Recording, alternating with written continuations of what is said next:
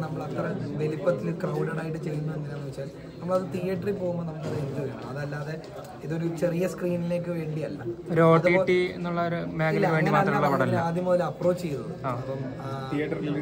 അതെ പിന്നെ കോവിഡിന് ശേഷമാണ് ഒ ടി ടി എന്നുള്ള ആ ഒരു ഇത് വരുന്നത്. അതിന് മുന്നേ നമ്മൾ മനസ്സിൽ കണ്ട് നമ്മളുടെ സിനിമ എന്ന് പറയുന്നത് തിയേറ്റർ സിനിമയാണ് തിയേറ്ററിനെ തന്നെ ചിന്തിച്ചുകൊണ്ടാണ് ഇരിക്കുന്നത്. അതുകൊണ്ട് തന്നെ ഓരോ പത്ത് മിനിറ്റ് കൂടുമ്പോഴും നമുക്ക് ഓരോന്നും എക്സൈറ്റ് ചെയ്യുന്ന ഓരോ എലമെന്റ്സ് ഇതിൽ വന്നുകൊണ്ടിരിക്കും വളരെ നല്ല വളരെ എൻജോയബിൾ ആയിരുന്നു. എനിക്ക് ഒരിക്കലും ഇവരൊരു ടീമാണ്.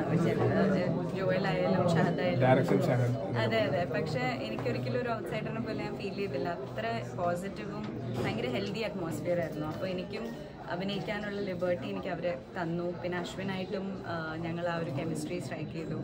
അടിപൊളിയായിരുന്നു തമിഴ് സെറ്റിൽ നിന്ന് മാറി മലയാള സെറ്റിൽ വരുമ്പോൾ ഉണ്ടാവുന്ന വ്യത്യാസം വ്യത്യാസം അപ്രോച്ചും കണ്ടന്റ് വ്യത്യാസമുണ്ട്. അതല്ലാതെ ഫിലിം മേക്കിംഗ് പ്രോസസ്സ് എല്ലായിടത്തും ഒന്ന്. ഹോളിവുഡ് വരെ.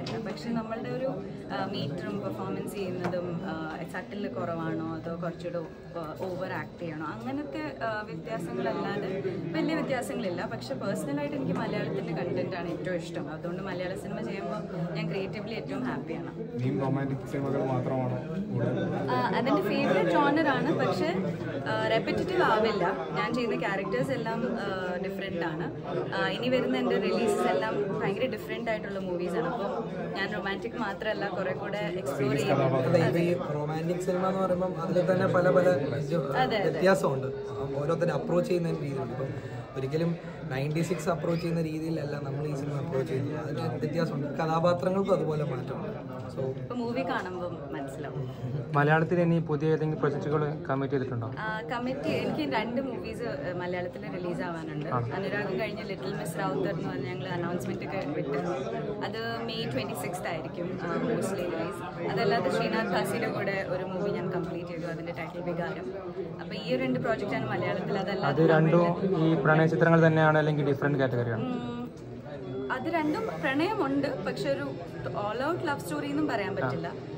രണ്ടും ഓരോന്നായിട്ട് വരുമ്പോൾ ഇപ്പോൾ എനിക്ക് അനുരാഗത്തിനെ കുറിച്ച് മാത്രമേ സംസാരിക്കാൻ പുതിയ പ്രോജക്റ്റ് ഏതെങ്കിലും മലയാളം? പുതിയ പ്രോജക്റ്റ് ഒരെണ്ണം ഷൂട്ട് കഴിഞ്ഞത് ഒരു റൊണാൾഡോ ചിത്രം എന്ന് പറയുന്ന സിനിമയാണ് അതിന് അതല്ലാതെ അടുത്ത ഒരു പ്രോജക്റ്റുകൾ ഇപ്പം നമ്മൾ കഥകൾ ഓരോന്ന് കേൾക്കുന്നുള്ളൂ. പക്ഷേ ഇപ്പം റൈറ്റ് നൗ മെയ് അഞ്ച് എന്നുള്ള ആ ഇതിൽ തന്നെയാണ് നമ്മൾ കാരണം ഒരുപാട് നാളത്തെ ഡ്രീമാണ് സ്വപ്നമാണ്. എല്ലാവരും കൊതിയുണ്ട് ഈ സിനിമയ്ക്ക്. ഉറപ്പായിട്ടും നമ്മൾ നിങ്ങളെല്ലാവരും വന്ന സിനിമ കാണണം. Okay thank you thank you thank you